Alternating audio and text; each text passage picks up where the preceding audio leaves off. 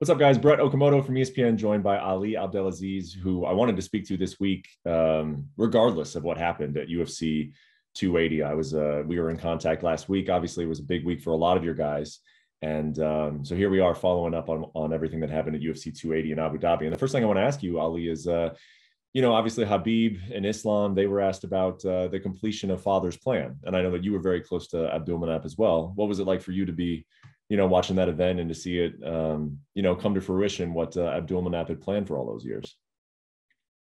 You know, um, it, it was it, it was an emotional moment for me because I know it, it's a, it's a, it's a triangle. You know, Khabib, his father, myself, Rizwan, like we all connected and we all we know what was the plan. Khabib will become a champion. He passed the baton to Islam, and this is kind of what Khabib father wanted.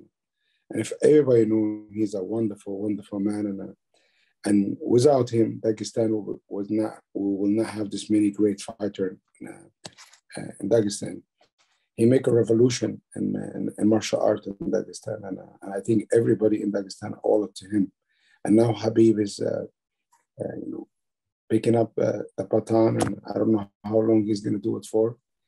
Uh, but he said, you know, he's going to help all his friends who brought him to become a champion. And and here you go, one one champion. Uh, last weekend, Islam Makhachev, uh, masterful performance. Uh, you, you, know, and I, I told everybody that I said, listen, Charles is good, but it's level to this. I think Islam is gonna play with it, you know. And I've been telling you guys for years about Islam, and everybody's you know say they they interviewed 77 UFC fighters seven UFC fighters said Islam will lose, you know. Mm-hmm. Some of them even was knocked out by Dagestan guys, and they say Dagestan style is boring. It's it's it's it's, it's they, they wrestle, they they this, but you know, I think most of this this fighter who's interviewed and picked up against Islam, they just fear anybody uh, have any word stand like Tajikistan, Tajikistan, Uzbekistan, Kazakhstan. Mm. It's just fear. For me, it's fear. But they they understand skills. You know, they understand skills, and uh, it's okay. It's free country. They can do whatever they want. But uh, they all eat their word, and uh, it's all good. We'll move on. Well, listen, obviously he looked great. You you did call it. You said that he would dominate. He, he did look dominant in that fight. And then they bring Volkanovski into the octagon, and it would appear that it's going to be Alexander Volkanovski versus Islam Makhachev. Uh, that seems very obvious to everybody watching is that is that what's going to happen? I mean, I, I think the whole world is expecting that fight in Perth in, in February. Listen, the, the UFC is always making, try to make a dollar, you know, like all this fighter try to make a dollar, right? Um, but also, you know, if you talk about Volkanovski, okay, no problem. He's the pound for pound king. But what about Beneil? He won eight fights in a row, finished five of his, of his last eight third most win in lightweight history, 16 wins, you know, fight up, fought down, fought everybody asked you to. Of course, Islam want to be the pound pound king, but Beneil want to get his shot. And at the end of the day, like I said, you know, I have Henry fought Marlon, I didn't stop it. I have uh, Kamaru fought Gilbert, I didn't stop it. I have uh, uh, Khabib fought Justin, I didn't stop it. And, and, and when it comes to Khabib. Nobody's closer to me in this, you know, as, as a brother like Khabib, You know, of course, Kamaru is, is one of my best friends and all these guys, you know, but when it comes to Khabib, there's nobody closer, you know, than Khabib, you know. But I didn't stop it. And it's not gonna me gonna stop Beneil from fighting Islam. At the end of the day, like listen, the UFC think dollar sign. This is a business, they have to make money, but also, you know, you know what's crazy? Uh, you know, these guys, Islam, Khabib, all these guys. If I say to them, hey, you know, hey, you need to fight Volkanovski is the best fight, they're not gonna respect me. They think I'm a traitor, you know. And I say, I say, hey, to Khabib Beneil deserve it, you know. Mm-hmm. And he said, yeah, I agree with you. You understand? But in a way, I have as a as a as a as a, as a Muslim man or as a man in general, mm-hmm. I can uh, pick side at one point, you know. I love Islam. Islam for me is like a son. You know, it's like he sleep in my house. But Beneil too. I know Beneil been with me like a brother to me too. Doesn't matter for different religion, different faith. But of course, but even me being Muslim, I have to be fair because this is a business. For me, it's business too. They, they are in business together, right? Yeah. It's a lot of things involved. And uh, I think Beneil uh, deserve it more than anybody. Mm-hmm. Uh, I think uh, I respect the guy so much. He's uh, he's such an amazing uh, like ambassador to the sport. And uh, but if you want to ruin his legacy, go ahead and fight Islam. you know, if you want to ruin his legacy, go ahead, go ahead. You know, you know, like uh, I, I respect him. I can't talk trash about him because I like him. I like his coach always with him. Such a nice people. But how he gonna beat Islam? He cannot beat Islam. He cannot beat Beneil either. I don't think so. But uh, like he's gonna, like Khabib said, Khabib doesn't say things to say.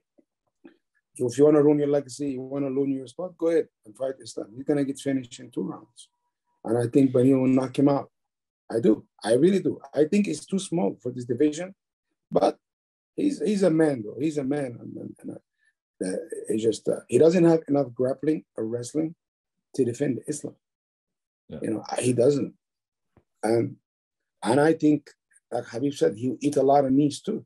But I just don't think he deserves it over Beneil. I just, me personally, of course, it's great for Islam. You know, if you're Islam, you wanna smash this guy, and after that, fight with Beneil.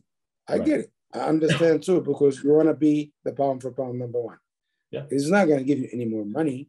It's just a status. But nobody on this planet cannot tell me because Islam been in the same position, Khabib been in the same position. They all been there. They deserve it. Somebody else jumped it. Now Beneil there, right? But also, they have to do what's the best for them. But what I'm gonna do, make the case for Beneil, mm-hmm. and you already know the UFC gonna do what they need to do to make money, you know. But of course, it's it's better for Beneil to fight Islam because for the title, but it's better for Islam to fight Volkanovski because he's the pound for pound kid. I get both sides, but nobody, nobody can tell me Beneil doesn't deserve this. Well, I think, um, yeah, it, it, you're you're in a uh, potentially awkward spot because what's best. I'm, I'm, not. No, no, no. I'm not. I've been there. It's, I know, and you you have been there, and, and it's and it, you navigate you navigate it. Uh, you you have navigated it before, but like what's best for Islam is probably Volkanovski. He wants the pound for pound. What's best for Beneil is the title shot. What is working in your favor, what I think makes it easier, is that I think even Beneil recognizes that, like, hey, if they make Alexander Volkanovski in Australia, they have a pay-per-view event in Australia. It's it's pound for pound number one versus pound for pound number three. Beneil is like, he's not be that's just what's great about Beneil. He's like, I'll, I'll face the next guy. But Do you want I don't agree with it. Guy? I, I don't agree with it. I, I I can tell you right now, like I told this to, to Sean, I already know what's gonna happen. They're gonna try to offer Islam to, to fight Beneil in uh, in Australia, and they're gonna try to make Oliveira fight Beneil in Brazil. And and it's you know this promotion one on one. They're already they're already gonna try to do that, and it doesn't help me when Beneil go out there and say I'll fight anybody. I don't I know. know it. Make my job a little bit harder. And I was like, hey, please shut up you know. But you know, Beneil is just a special guy, you know. But I also give my word to Rafael Cordeiro. He's, he should be next, you know. And I also I keep my man as a word. But listen, this UFC, Islam deserved that shot way before because none of these guys wanted to fight him. Let's be real. Everybody ducked Islam. Chandler ducked Islam. Poirier ducked Islam all I don't, you know, I don't want to mention some of my friends who ducked him, but they, you know who they are. They ducked Islam. You understand? Paul Felder ducked Islam, and I love Paul. All of them ducked Islam. Charles Oliveira ducked Islam. Even they ducked Beneil too. Poirier is supposed to fight with Beneil, got offer a fight. Mm-hmm. They duck him.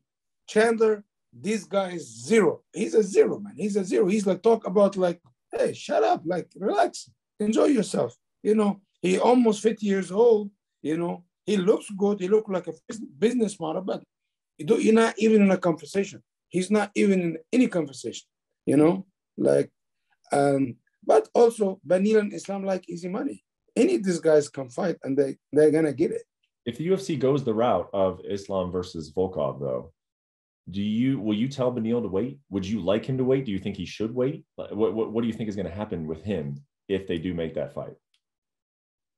Listen, I'm not a favorite fighter waiting, no. but I gotta talk to my brother Rafael Cordeiro. Like he's my friend, and uh, and, and, and he, he always give wise advice. But I'm not in a favorite fighter wait because what happened is an injury. What happened is a close fight, is a rematch. What mm-hmm. happened if it's accidental? I don't, of course, I never told fighter to wait because you can buy everything in life. You cannot buy time back, you know. But also, you know, I, I just, I'm telling you, I'm telling you, you know, Alexander Volkanovski, if they make this fight, he's gonna hurt his legacy because he's not gonna survive mm-hmm. two round, 3 mm-hmm. round max. Not because he's he's a he's a pound for pound number one right now today. I mm-hmm. can tell you this. He, maybe, maybe because I think Islam, if they fight, Islam is gonna stop him. You know, Islam will stop him.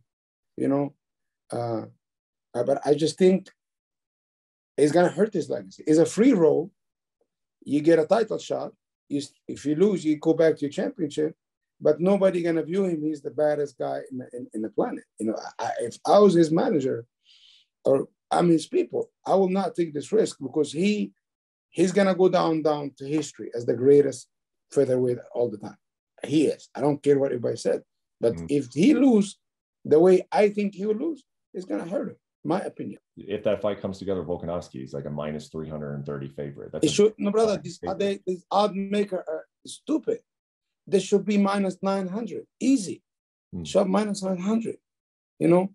And, but, brother, I cannot say nothing about Alexander Volkanovski as a person, as a fighter. He's one of the greats all the time. How about Belal, Ali? What are you going to do with Belal? Because I talked to Belal you know, and they're they're saying Khamzat and Colby, that's a fight that they want to put together. Obviously, Kamaru and Leon, they need to do a trilogy. Where does that leave Belal? He's another guy who's won eight in a row. What what happens with uh, Belal? listen to me, but listen. Belal got his first knockout in the UFC. Bonus. Put some respect on his name. Put some respect on his name. Belal, one of the nicest dude, gangster as hell, funny as hell. You mm-hmm. can get, he's a chameleon, man. You know, you go out there, Sean Brady, I have the most respect to. tough, durable, undefeated, young prospect, and you go out there and you go ahead and knock him out like that. You know, you know, Sean Shelby, one of the most brutally honest people on the planet, and he's like, "Wow, I can't believe this, amazing job." You know, Khabib really pushed him. You know, but it, it was in him. He just needed this little push. Belal can finish people. You know, Listen, if you don't give Belal title shot, Colby Covington have not beat anybody coming off a win in a long time. Colby Covington is irrelevant.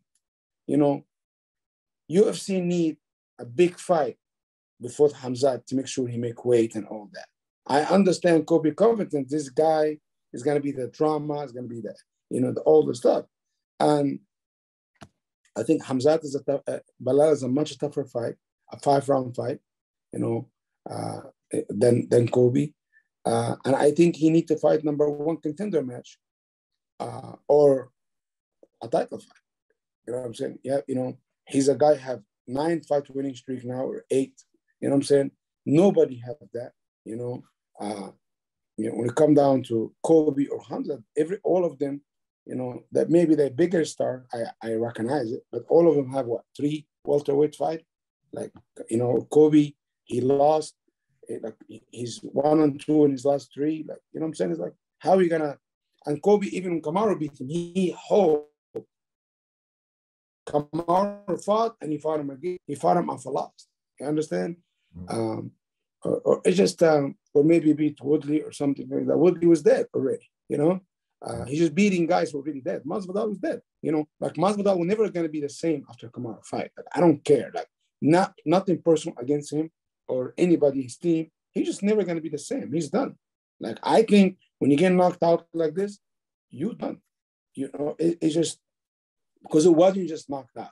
You're getting pieced up in the first fight. You're getting pieced up in the second fight. Mentally, you know, you checked out. And after that, what he went through is Colby. Colby dominating belt to belt too. You understand? You know, Uh, and, and, honestly, like I thought he was fighting uh, Gilbert Burns. That's other situation I need to figure out with the UFC. But they said December, now January. I just don't think Masvidal is going to fight Gilbert. Well, that was going to be that was going to be the next guy I brought up. Uh, is he going to take that fight? What, what is brother? We was we was told December.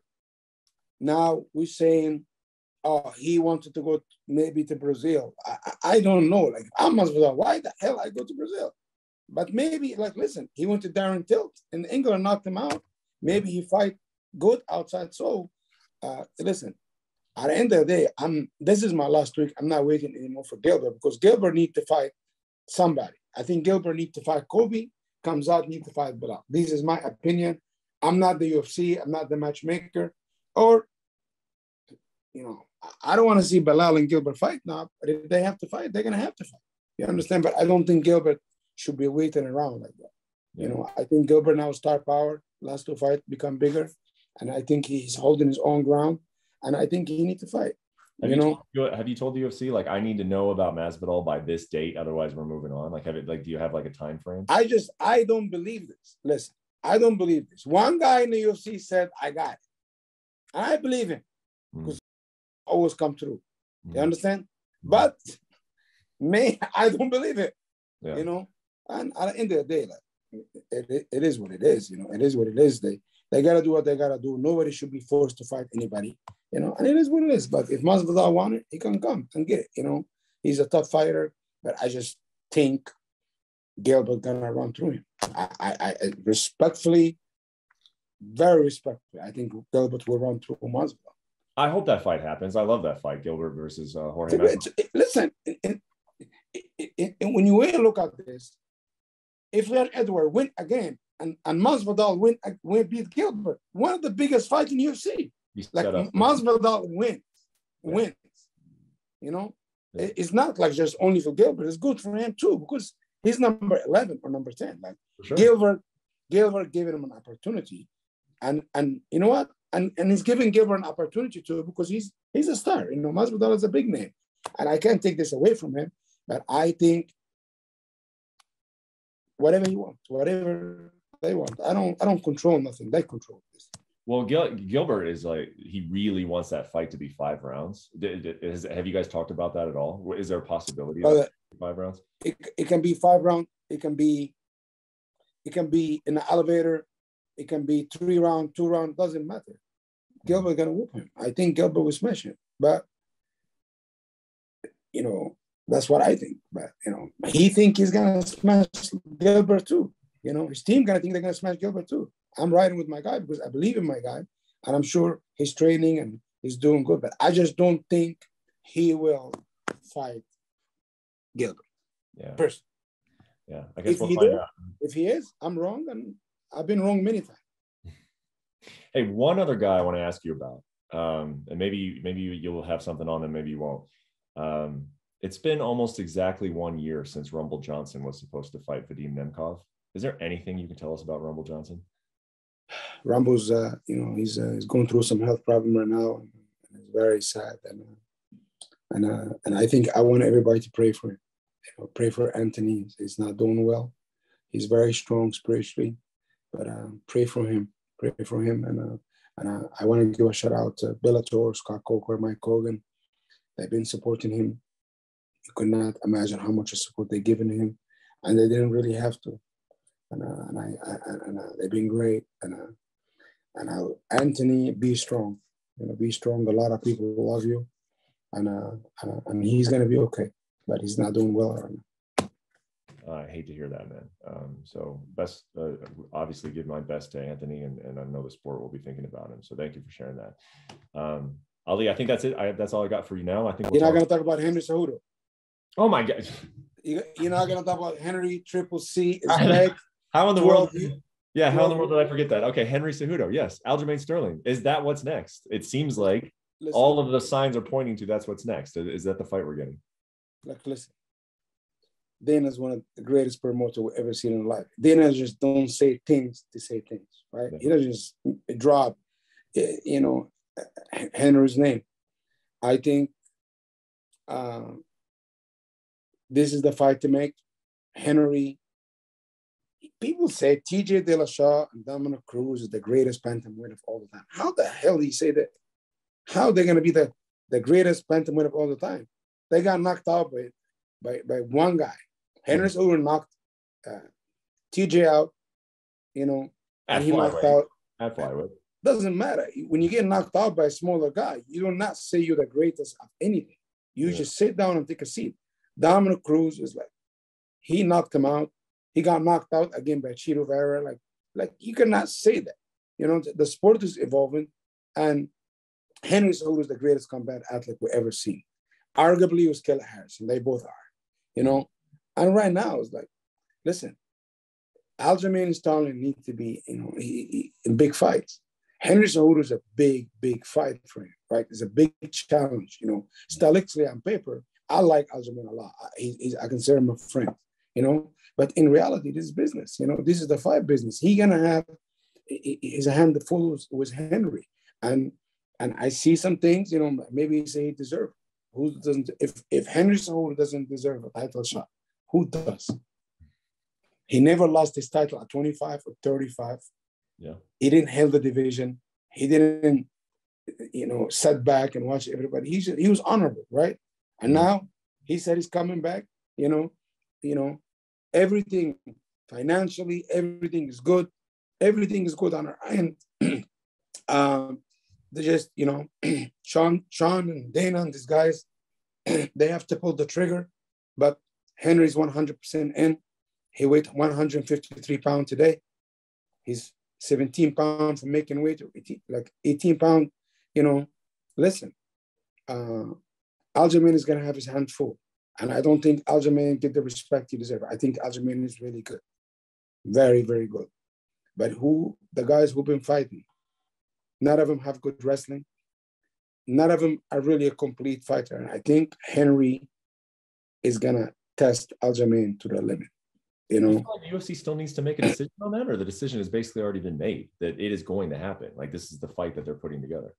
listen, like I said, Dana White doesn't just talk to talk. Mhm. Dana White is one of the is the greatest promoter of all the time because he tests the water. You know, you know, three months ago I sat with the UFC, we had dinner, and we say we want to come back. And they said, okay. Mhm. And this is the fight to make. You understand? And make all the sense of the word. Stylistically, is a great fight. Henry's gonna promote this fight. Listen, Aljamain, you know, Henry's gonna make you money, man. He's gonna promote the hell out of this fight. Of course, he would prefer to fight Sean O'Malley, but Sean O'Malley maybe need a little bit of rest, you know. And I think I think Sean O'Malley right after that deserves a title shot too, because people need to put some respect on his name also. I think he, he did very well, you know. Close fight, but that's the game. You know, we can't win them all. Sometimes the judges, some sometime. But Henry Cejudo will be back. He will fight. Um, I don't believe anything is done to our sign about agreement. Sign about agreement. Mhm. I have not signed about agreement. I have not get the contract. I think everybody being respectful towards Aljamain. He need to enjoy his time with his family. But when Aljamain come back, he's gonna have Triple C waiting for him. And I truly believe uh, if anybody at the moment would destroy, destroy Aljamain, beat Aljamain, I think Henderson Cejudo will beat him. I really do. Stylistically, it's a nightmare matchup for him. Uh, it's a tough fight for both guys. But I think how Aljamain can beat him, can cannot take him down. He cannot strike with him. I think uh, I think Henry will, will not easily. I think Henry will win, but also Henry been out for two years. Yeah. We're gonna get the new Henry or something different, right? Yeah. But Henry is a perfectionist and a professional, you know. And Henry put the work, um, and I just can't wait. You know, it's gonna be a great fight for the bantamweight division. But I'm just telling you this today. Like I told you about Islam for years, Mhm. nobody in the top 15 is gonna touch Umar's feet. Nobody cannot touch him. He's the great, he's the best bantamweight on the planet today. And I manage a lot of them. And the top 15, Umar will beat anybody. Will beat anybody. And What's I the time frame really? When is what's next? brother, he's he going through what Islam going through. Nobody want to fight Umar. You know, nobody want to fight these guys. you know, he's he's gonna have Sean Shelby's gonna, you know, put his foot down and do what he does the best because he's he's the best, right? Mm. You know, Umar, you have a little bit of injury. He's good. He's good to go to January, but not at these guys want to fight with him. But I'm just telling you that I promise you, I'm not exaggerating. He will be a UFC champion if this get an opportunity. Nobody can beat him. Nobody can beat him. Have him fight Yan, have him fight Aljamain, Omadi. He will smash all these guys. And I mean it from bottom of my heart. And everybody afraid of Umar in the bantamweight division, all of them.